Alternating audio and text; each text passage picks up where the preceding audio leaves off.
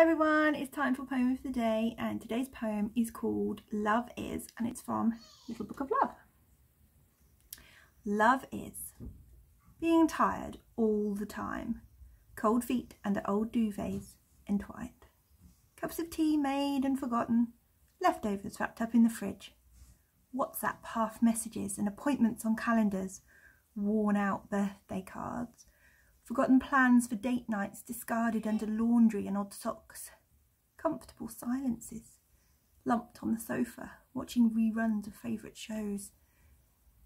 Sticky fingers and runny noses. Early mornings and disruptive nights. Want, want, want. Take, take, take. Crying and complaining and moaning and whinging. Soft, tired huggles and sofa snuggles. Vomit and poop and skinned knees trips out, days out, packed lunches, going warm in the sun, worry and stress and panic and doubt, trying to be organised and have fun. I hope you enjoyed that poem fingers crossed I'll be back again tomorrow. Take care.